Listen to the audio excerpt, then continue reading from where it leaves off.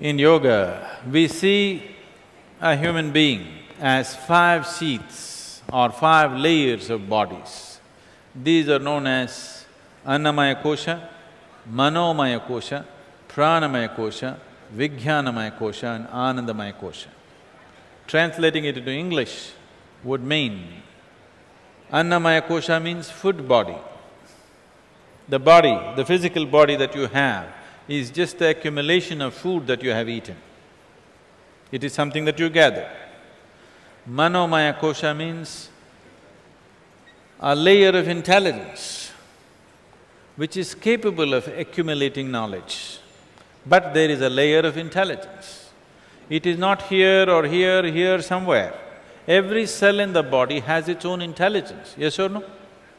So, intelligence is all across. Accumulation of knowledge is all across.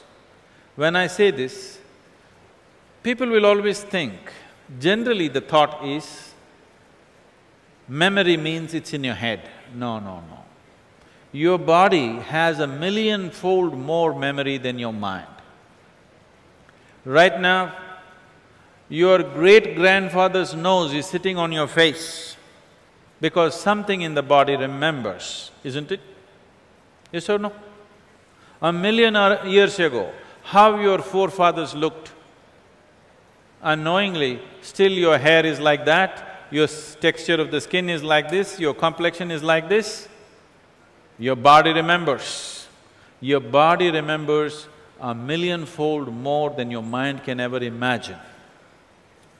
So, both in terms of intelligence, right now, what is happening in a single cell in your body, can you logically, mentally or intellectually decipher what's happening in one cell in your body?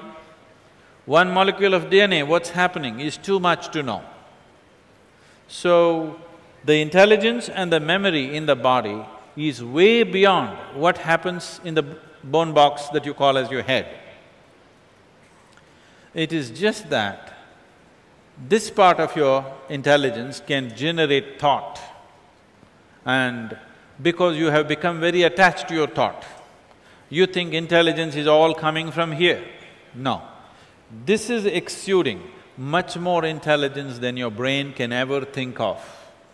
This is the science of yoga, one dimension of it. Let me speak about a very small aspect of this.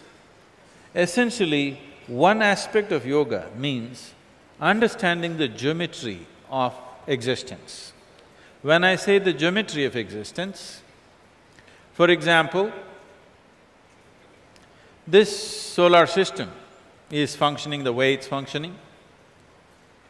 One thing is, all this life, including yourself, you're all solar powered, aren't you?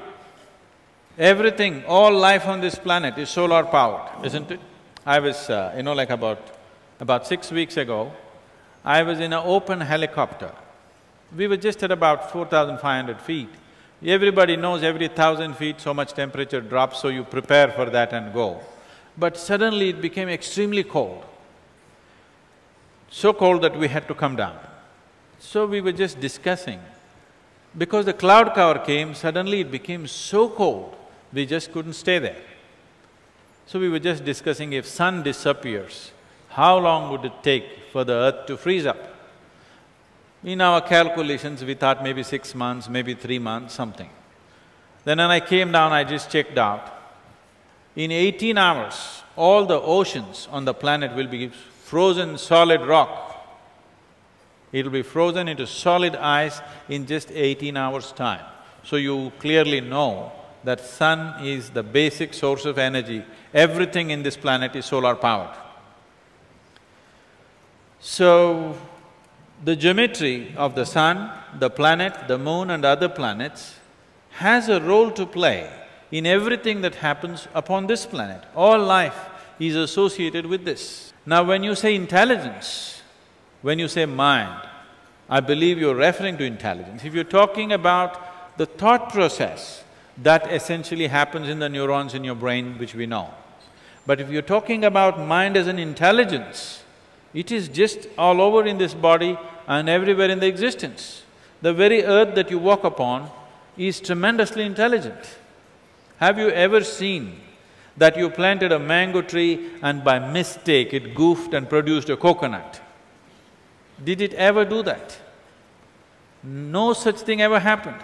Just its neighbor is producing coconuts. By mistake, did it ever produce a coconut? Such a nut they have… nature has never produced, isn't it? But employing your logical intelligence, many times you end up into that kind of situations. So, you need to understand this both in terms of intelligence and memory. Every cell in your body carries much more than your whole brain carries. One cell in your body, one molecule of DNA carries information that your whole brain cannot decipher, that much information it carries. What happened in the last few million years, it remembers and still manifesting, isn't it?